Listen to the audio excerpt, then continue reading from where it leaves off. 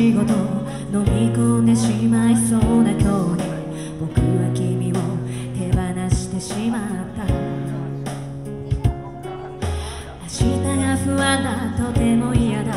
だからこの僕も一緒に飲み込んで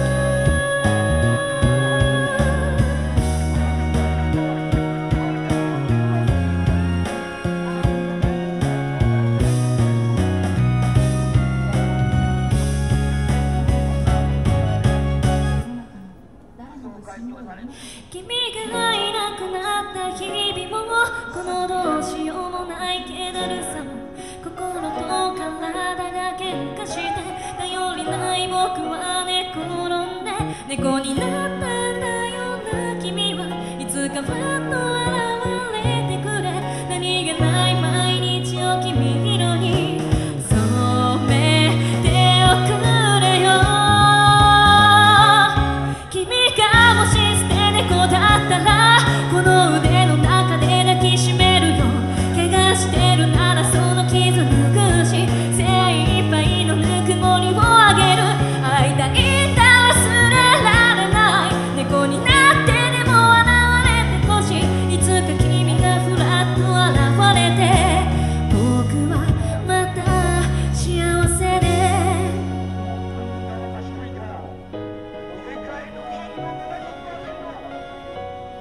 ありがとうございます。猫を聞いていただきました。